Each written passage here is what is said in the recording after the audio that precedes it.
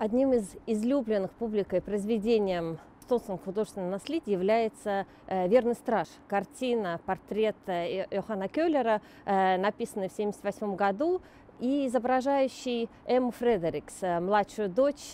министра двора барона Фредерикса, написанной в летнем имении Эм, Фредерикса в э, Сиверской эм, месте, э, излюбленном многими э, аристократами, художественными кругами. И этот салонно-реалистический портрет, эм, который так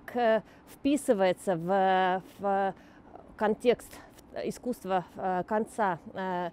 XIX э, века э, показывает Кюллера как э, мастерского портретиста и также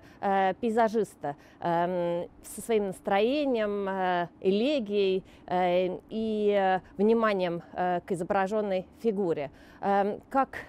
бывший крестьянин, мальчик из небольшого хуторка из Виленди прибыл достиг таких высот, будучи своим человеком в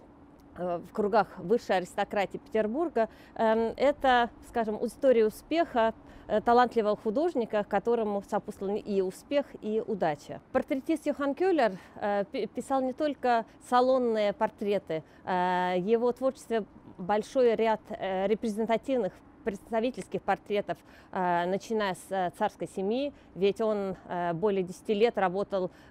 учителем рисования дочери Александра II, Марии Александровны, и портретировал всех русских царей, живших при его,